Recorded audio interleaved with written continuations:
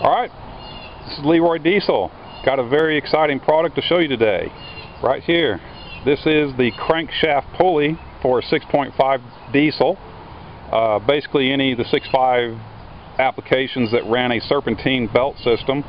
Um, and uh, I'll just kind of get into this. Oh, by the way, if you order one of these, you'll get a free t-shirt. And uh, today being St. Patrick's Day, I'm showing the green t-shirt. Here is the factory pulley, and the problem with them is they have this rubber isolation piece, so it's a two-piece pulley, and they are constantly separating. This one is pretty soft. It feels like it could let go at any time, but it, it's actually not cracked or separated. They either separate around the ring here, all the way around the ring, or they'll just physically crack right in the rubber itself and then separate. The new pulley is a one-piece billet and it's anodized, um, real pretty piece. And it's hub-centric. We've machined the hub-centric ring into it.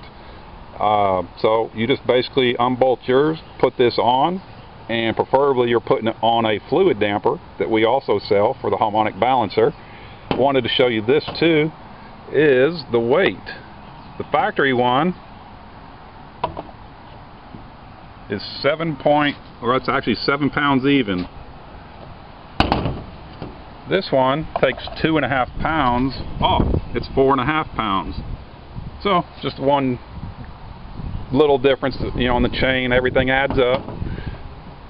Just wanted to show you guys this real quick. And if you have any questions or would like to purchase this, go to LeroyDiesel.com. Have a good day.